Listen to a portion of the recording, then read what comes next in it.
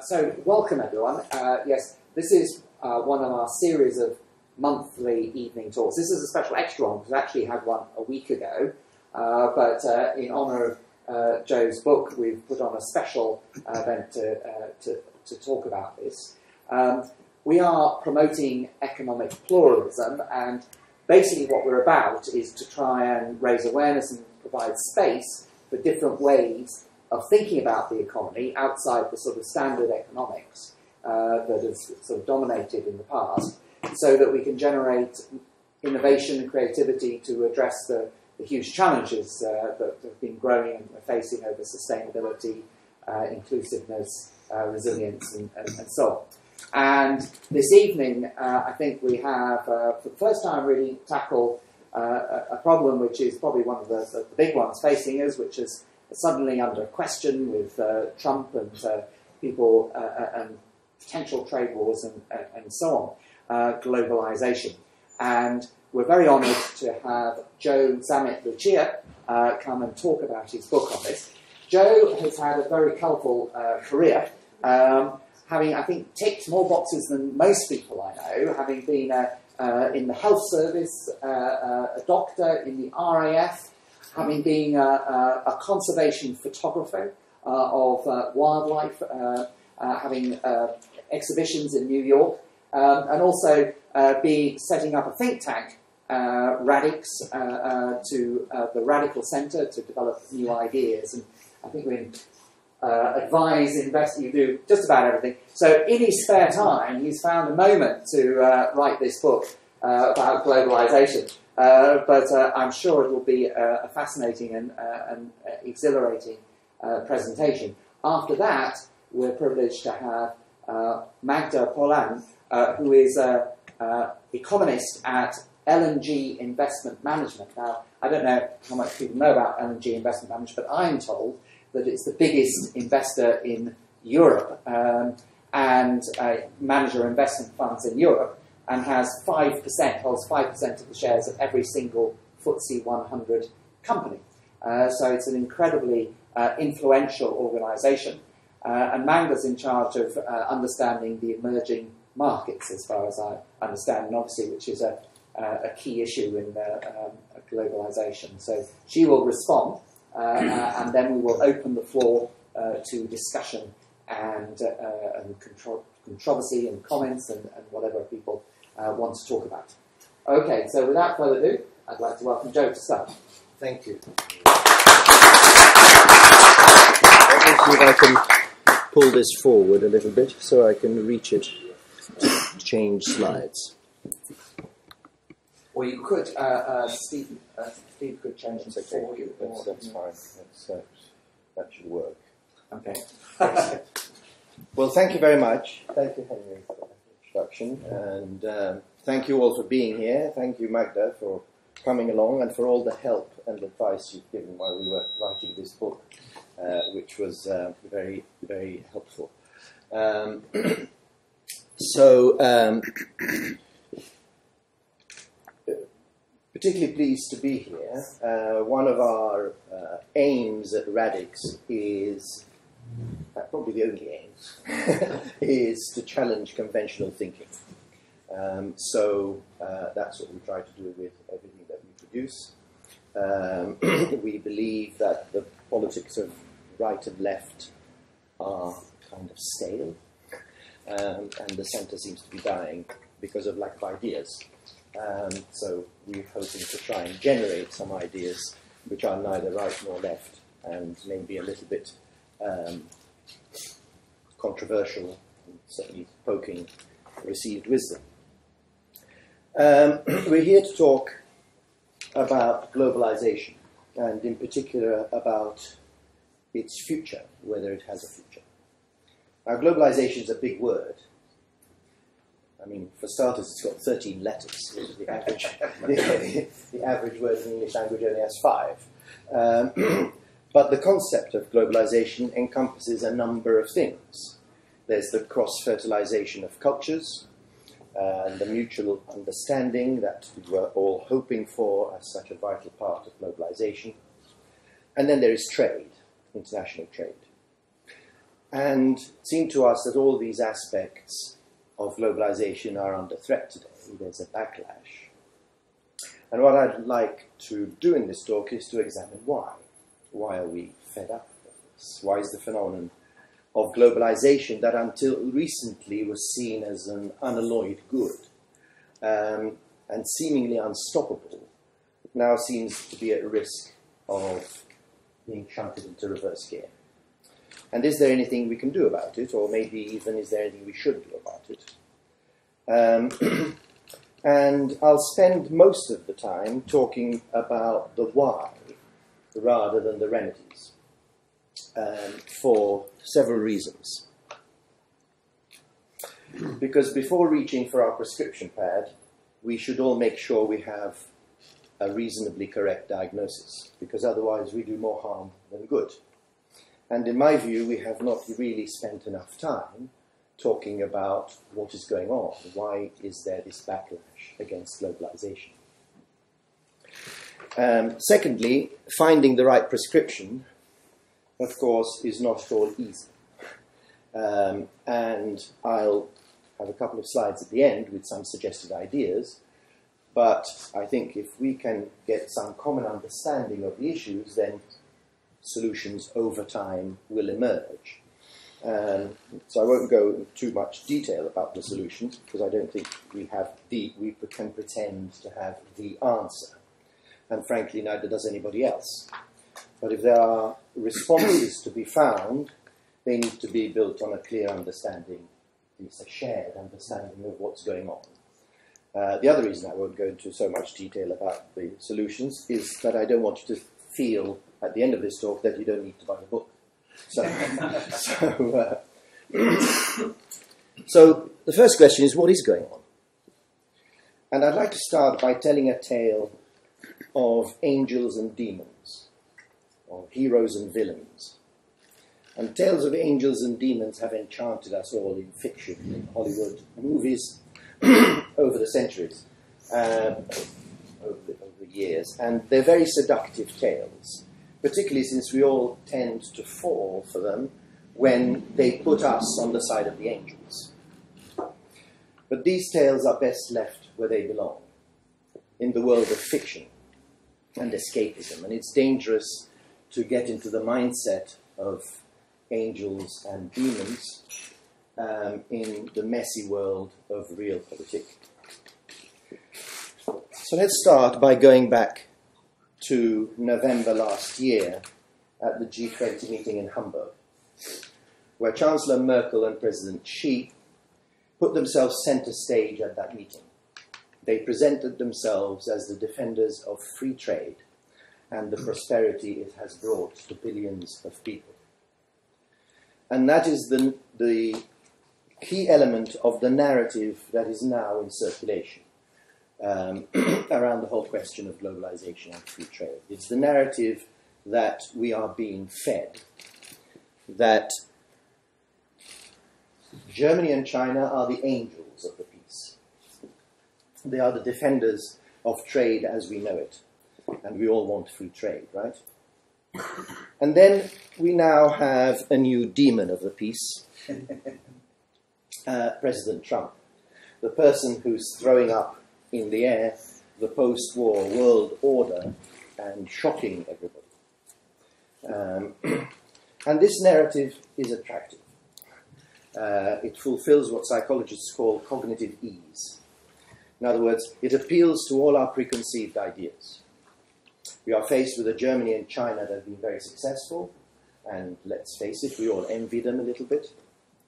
Um, and in the other corner, we have a US president who, if I may put it this way, doesn't go out of his way to be liked. So the angels and demons narrative, you know, we can easily buy into without really doing a lot of thinking. Um, it appeals to what Daniel Kahneman calls system one thinking. Quick, intuitive thinking doesn't require a lot of work um, and just fits in with what we expect to be the narrative. Um, we don't have to do the system two analytical thinking. That's really too much hard work. The trouble is that much of what our System 1 thinking accepts actually turns out to be wrong. So, just to put forward one chart, Germany and China have been the two countries that over the last decade have implemented the largest number of restrictive trade practices of any country. As Benjamin Franklin put it, one of the greatest tragedies in life is the murder of a beautiful theory by a gang of brutal facts. so, my aim today is to get us out of simply accepting the narrative that we're being fed, to help us do a little bit more of the hard thinking about what is actually going on and maybe create a new narrative. And I promise that this slide is not the ultimate aim of my talk today. because there are no angels, there are no demons, there are just leaders of countries doing what they think is best. And in reality, none of us really know what that is. Learned papers can be published with all sorts of seemingly elegant solutions. But when they hit the inelegant and very challenging world of real politics, the real trade offs that affect people's lives, then none of it seems to be imbued with this elegant simplicity. The one thing that's for sure is that the world is changing rapidly before our very eyes. It's changed out of all recognition from the post war period when all our current globalization structures were put in place. And it continues to change at a very rapid pace, more rapidly than, than our institutions can change. Because it's the nature of institutions that they only change very slowly. And I'd like to divide those changes into three categories political, cultural, and economic. and I'll address each in turn. And I'd particularly like to start with the political. Why? Because although trade is often discussed in economic terms, trade is fundamentally about politics. We cannot understand trade unless we first take a political perspective. Trade is not an end in itself. it's an instrument of domestic and foreign policy. So it may be true that trade increases welfare, um, whatever that is, uh, and as such, it may be one tool of many that governments might deploy to increase welfare they'll have to trade that off against other ways in which welfare might be increased. They need to look at how that welfare is spread. Who gains, who loses? What are the social, cultural, and political implications of all of that? Similarly, trade can be used as a way to project power, um, or as a way that, you know, to get rich through projecting power, which the British Empire was very good at doing. Uh, again, one of many ways in which that can be done. All this to say that the standard late 20th century narrative that international trade increases welfare, and that's it. No further discussion. There's no need to say anything else. Um, that's much too simplistic a way of looking at it. And we'll come to that again a bit later. So, talking about politics, how has the world geopolitical structure changed and what are the implications for globalization? so, the post war world was characterized by what's called the Washington Consensus. We had globalization overseen by these wonderful Bretton Woods institutions, the concept of global governance. The whole thing was steered by the hegemonic power of the United States. So apart from the USSR that chose to shut itself off from the world, we only had one single power in the world, US. It steered everything, and everyone largely followed and benefited. And Western, Western liberal democracy was believed to be the aspiration for everybody. The whole world was going to become a liberal democracy because that was best. Well, no longer. The first major change is that the idea of global governance is really no longer widely accepted. We're seeing a resurgence of the nation state as the locus of democratic legitimacy. the Bretton Woods institutions and their, their democratic legitimacy is being questioned. Their power is waning. They're seen by the developing world as being still too dominated by the West in terms of their governance structures, and by the West, even though they dominate them, as no longer able to defend their interests. In terms of trade, we no longer see a world steered by the United States, but rather evolving into three major trading blocs the US, the EU, and China, each with their sphere of influence. China's success, a revanchist Russia, the rise of political strongmen in countries like Turkey, the rejection of democracy, explicit rejection of democracy as a goal by countries in the Middle East, the invention of illiberal democracy within the European Union itself. All these things have put to bed, at least for the moment, the idea of the globalization of a single political structure, that of liberal democracy. As regards trade, the 20th century narrative was that of the spread of prosperity through free trade, which led to the rise of the multinational corporation, an economically efficient structure that was supposed to optimize performance through cherry picking the best of what each country or region had to offer. In terms of economic efficiency, it was a tremendously positive development. But now we have the political backlash. What was seen as a model of economic efficiency is now seen as an instrument of arbitrage in jobs, taxes, and investment. In other words, multinational companies are seen as playing off one country against the other, driving a race to the bottom, and developing more political power than legitimately elected governments. In other words, some argue that we're moving from democracy to a plutocracy, or maybe that we're already there. Finally, security. Once again, the US used to be the underwriter, essentially, of global security. We lived in a prosperous and largely peaceful world where we could just trade with each other. Our security was guaranteed by the dollars of the American taxpayer. No longer are trade and security separate. The US worries about electronics made in China that could have inbuilt back doors and a threat to security. As we move to a largely digital economy, everybody's concerned about the security threats posed by hacking, even in areas that were previously thought as having really nothing to do with security. As the CEO of Baidu put it, the days where a car is made in one place and sold everywhere are over, because a car that can drive itself is by definition a weapon. Who would have thought only a few years ago that trade in automobiles could become a national security issue? And of course, China has its own views about the relationship between data, information flow, and national security. So, with all these developments, it's been known, well published since the 1980s, that such a structure is much more likely to re- lead to competition between blocs rather than cooperation. The sort of multilateral, co- the multilateral collaboration that characterized the second half of the 20th century is highly unlikely in this new geopolitical structure. And that's exactly what we're seeing. International trade has always, a bit like nature, it's always been a delicate dance between competition and cooperation. And the tune of that dance has changed. So the cause of the competition we are seeing evolving before our eyes is geopolitical structure, not simply a US president that is out of control and it was all predictable and predicted.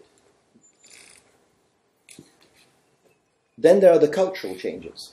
and these are vitally important to trade. Why? Well, there was a time when tariffs were the main barrier to trade. No longer. Now the main barriers are regulatory ones. And regulations reflect local cultural norms. So trade as well as other aspects of globalization, like the free movement of people, invariably impinge on local sensitivities and local cultural norms. We hear about chlorinated chickens and GMOs and things. These are all local cultural norms. For decades, multiculturalism was the order of the day. Free movement of people was a good thing. It mingled skills and cultures, brought benefits and mutual understanding. In other words, the late 20th century narrative was one of cultural and religious coexistence. Multiculturalism was going to be underpinned by the opening up of global communications, social media platforms, and all these things that would build, that would be a force for good and build greater mutual understanding. I don't need to tell you that all of this has changed. Now the focus is on social cohesion as vital to the solidarity without which democracies cannot function. We live in a world of identity politics, whether that identity is underpinned by religion, nation, or simply political positions, like whether you're pro or anti Brexit, becomes an identity issue. We are, one way or another, living in a time of culture wars rather than multiculturalism.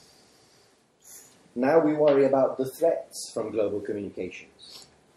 Social media platforms can be the agents, we've discovered, can be the agents of hate and division, just as much as they can be catalysts of mutual understanding. We worry about privacy, the abuse of personal data, fake news, interference in elections, and the national security implications of an uncontrollable world of personal data. then comes consumption. Globalization was built on the idea of defining human beings as one thing and one thing only consumers. Weekend before last, I was stuck in an airport for much longer than I would have liked. And I wandered around and took these pictures. This is what globalization has brought to us, if we choose to define ourselves as consumers. We can now consume as much of this sort of tat and garbage as we like, because it's made somewhere cheap. Uh, we can buy tons of it, we can throw it away, and buy the next lot. This, I guess, is one part of the, def- economic, of the economist's definition of welfare. But again, this is changing the idea that welfare is largely defined by consumption is maybe not quite evaporating, but it's certainly a bit weaker than these. Many people are feeling there's a little bit more to life than consumption. And we're also starting to wonder whether it is true that anything goes for a penny off. We're starting to be concerned about the labour conditions that underpin our $1,000 iPhones. Yes, we have ILO guidelines running to several hundred pages. Uh, companies say they have their own guidelines about supply chains, but we all know that very little of it is actually either implemented or enforced. And we're starting to be concerned about the environmental damage wrought by a combination by the combination of a world of consumption, a finite planet, and the never-ending search for that penny off. These images are from Madagascar, which is one of the which has been largely destroyed um, by extraction. And we're also starting to wonder whether it really makes sense that comp- for components to have to travel three times round the globe to be finally assembled and then shipped yet again to their final destination. You wrote, Nick, that emissions from world shipping was forecast to grow by something like 250% over the next, I don't know how long, five, ten years. And we have no solution to that. In a world ruled by the triumvirate of consumption driven economics, international trade, and the endless search for a penny off. Economists call them externalities. Seems such a harmless and elegant word. But culturally, we seem less and less willing to put up with them. Finally, let's get to the economics of international trade. I like this statement from Professor Rodrik, Harvard comparative advantage and the gains from trade. Let's examine them both in turn. And on the left, we have a picture of David Ricardo, whose theory of comparative advantage underpins the whole concept of international trade. It's a powerful theory. It was published in 1817. I'm not proposing that we throw it out, but would it not be reasonable at least to have some public discussion as to how much of it still applies two centuries later? We live today in a world that would be totally unrecognizable to Ricardo. In his time, comparative advantage lasted a very long time. Maybe not today. Technological advance happens very quickly. Technology transfers ha- transfer happens in a flash. New skills and capabilities are built. Old skills are enhanced through education and technology. In such a fast moving world, is it reasonable to deindustrialize, to give up skills and capabilities built up over decades or centuries, because someone is deemed to have a comparative advantage that might last only five minutes? And Ricardo's theory was predicated on the constraint of goods of equivalent quality. Well, what does that mean today? Today we can hire a marketing agency to magic up a new definition of quality in five minutes. It's doubtful whether goods or services of equivalent quality actually exist any longer. Everything is differentiated, even if only at the margins. And it's enveloped in a halo of marketing and advertising activity that forms part of our conception of quality.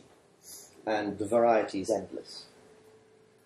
And of course, Ricardo lived in a world that largely traded in goods. Today, we live in a world that trades significantly in services. As I said, I'm not trying to throw this out, but it's rather amazing to me how little discussion there is about what comparative advantage means in a fast moving 21st century world. How a two centuries old theory is still somehow treated like some kind of religious dogma, never to be challenged.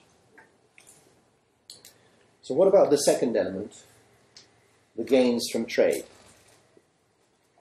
Yes, there are, there are gains, but there are also downsides. Institutions of globalization have now come up with this statement. Something that has been, I don't know when they published this, but maybe a couple of years back. They've now come out with this statement, which is something that has been obvious to every factory worker that has lost his or her job over the last 50 years. We risk getting dragged into a world where, as long as our economic models throw out a number at the end that's a net positive, the social disruptions that are embedded in the workings of such models get ignored, or at the very least, insufficiently valued. The reality is that the gains from trade have been highly asymmetrical. When I speak to people in the trade world about this, I always get the same response. Job losses have not come from trade, they've come mainly from technological advances. Well, I believe that's plain wrong. Yes, some have come from technological advancement, but they've also come from the asymmetric gains and losses of the current international trade system. So it's not either or, it's also and. We can't keep persisting with a trade structure that gives us so much asymmetry. So, in domestic policy terms, it's worth asking the question are the gains from trade worth the social, political, and economic downsides? One analysis of the impact of NAFTA concluded that the net gain in US welfare was less than a tenth of 1%. Yet vulnerable groups saw a fall in their wage growth by around 17 percentage points. If you were running a country and had responsibility for the welfare of your citizens, the people who voted you in and whose taxes you collect, would you take this deal? Or would you look for some other ways to gain less than a tenth of 1%? Or maybe not bother at all for such a small amount? Let's talk about mercantilism, the idea that trade was all about exports. That the more you exported, the wealthier you got, the more gold in your national coffers. In the mercantilist's mind, trade is only about exports. In the 20th century, mercantilism was considered a dirty word. we were all supposed to import and export and not worry too much about trade balances. In reality, the mercantilist mentality never really went away. Do you think Germany and China would be standing up so aggressively for the current trading system if, they, if instead of huge trade surpluses, they had huge trade deficits? It's interesting. Some work done in emerging markets asked people if they believed that international trade was a good thing. The overwhelming response was positive. We love it. They then asked whether they believed that their countries should be importing stuff. And they said, no, we don't want to do that. um, we shouldn't be importing stuff. So, there again, trade in people's minds is associated with selling things to others. The mercantilist mentality is alive and well everywhere you look. And we now understand that large unidirectional trade imbalances are not sustainable forever. They have to be funded either by foreign debt or by selling assets to foreign investors. They imply a huge loss of sovereignty. Finally, let's talk about money.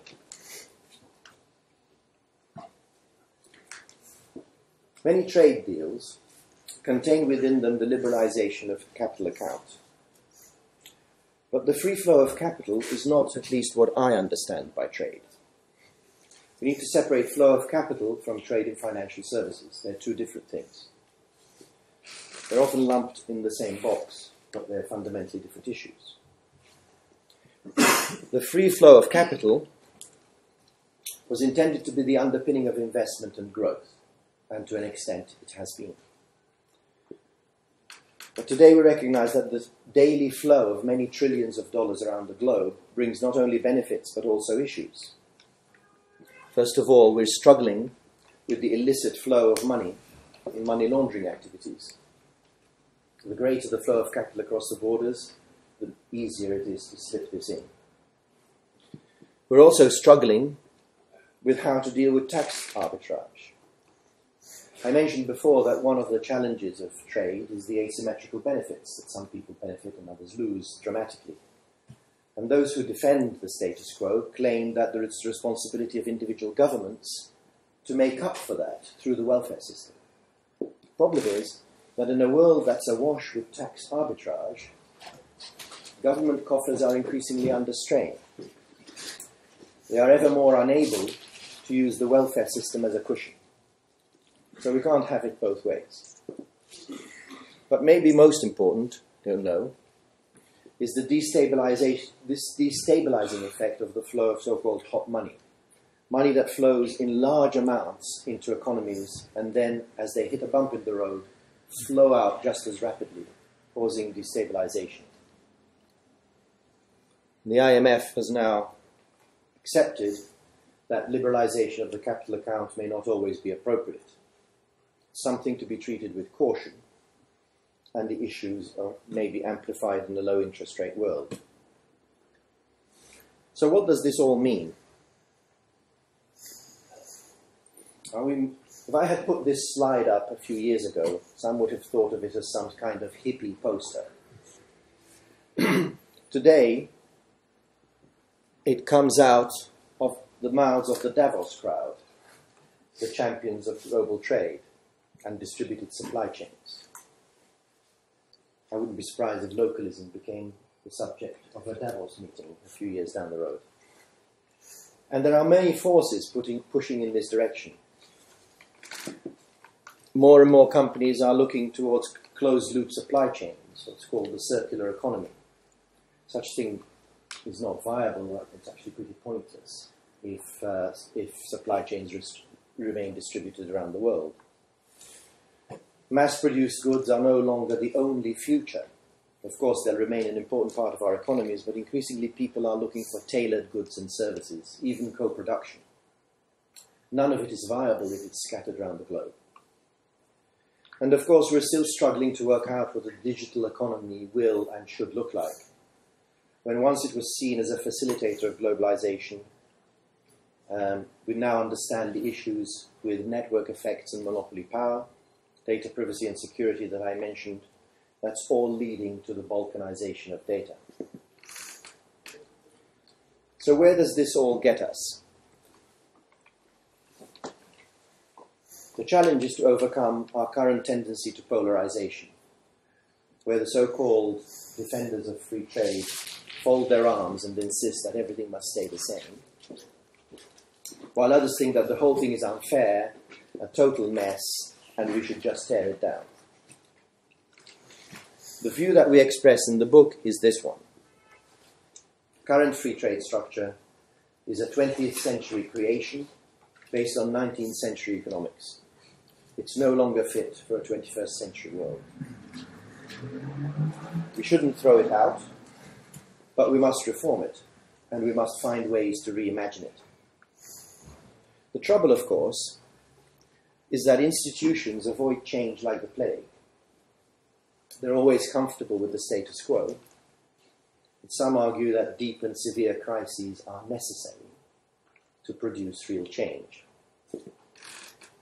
So, where's that crisis going to come to drive change?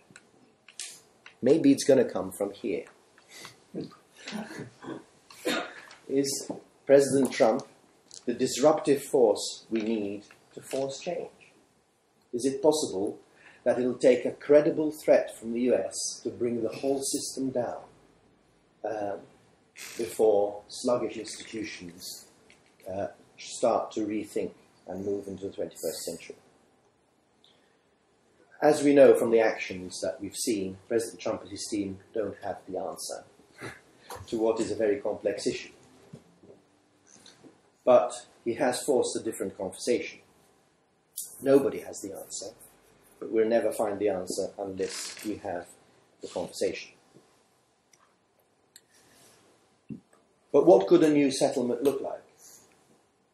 Well, who knows? We put down some ideas in the book. The first is that stability only comes from change. Um, if you keep things rigid, stuck in aspic, they will collapse because the world is changing around you. So, if we want stability, we have to change. The other point I'd like to make is trade policy can't stand alone. It's part of, as I said, domestic and uh, foreign policy objectives. So it must be developed within that context. The way that globalization has developed has given, has created a lot of oligopoly power, and competition authorities just seem to be sitting on their hands. I noticed that in the last few days, the EU has decided that it's not going to interfere with any intra EU mergers because they want to create European world champions. So, yet more oligopolistic power. And I think we need to return to the basic principle that trade, as envisaged by Cobden, is intended to create competition. It's not intended to embed those who are already there. We seem to have lost that idea. I believe that we need to accept that persistent unidirectional trade imbalances are ultimately politically, socially, and economically corrosive. Of course, as you speak to the Germans, they don't accept this. Their view is if people want to buy our Mercedes because they're great products and we can and we're very productive in how we produce them, then they should buy them. Um, but in the long run, they're very corrosive promote localism, and I think we all see the. Doesn't mean that I'm not suggesting here that um, Bristol, Manchester, and Liverpool should all make their own jumbo jets. Um, that's clearly not, not the objective. But, but you know, we've seen a lot of local businesses disappear, which don't have to. We need to focus on regulatory convergence rather than tariffs, and this is a challenge because regulatory convergence is very difficult to do. Um, which is why we believe that what you need is broad framework trade agreements, not try to get all singing, all dancing free trade agreements that try to cover everything, but create a framework and an intent to converge and do more over time as, as things evolve.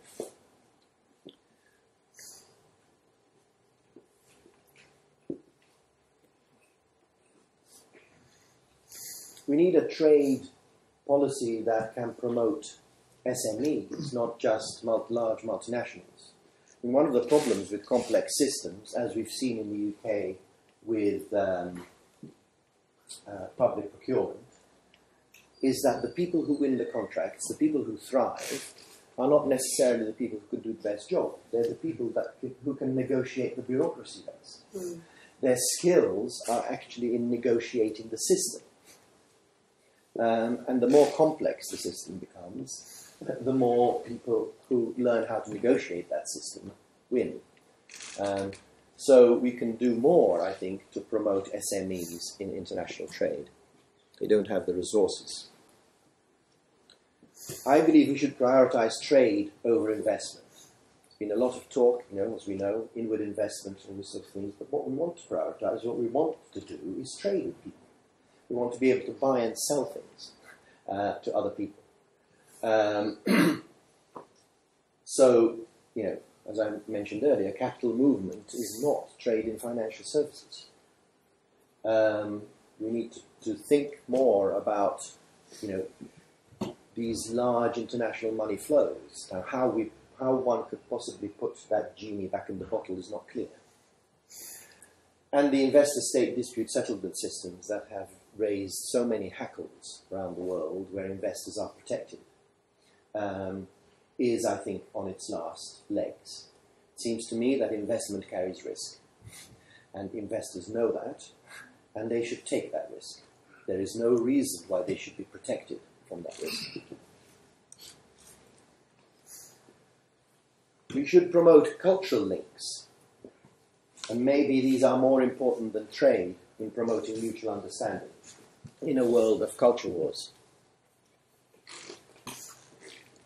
And we need to be a little bit more transparent about the costs and benefits to different parts of the population of trade.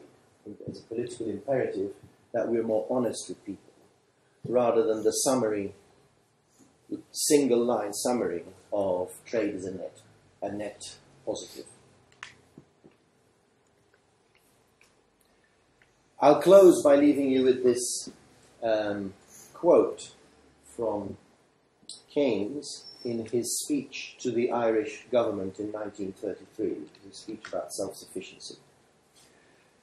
And this is not a very well known speech, uh, it wasn't, has, wasn't popular in the late 20th century in a world of globalization uh, and was sort of dismissed as being a protectionist speech. But of course, it never was. Mean, Keynes was one of the most liberal economists ever.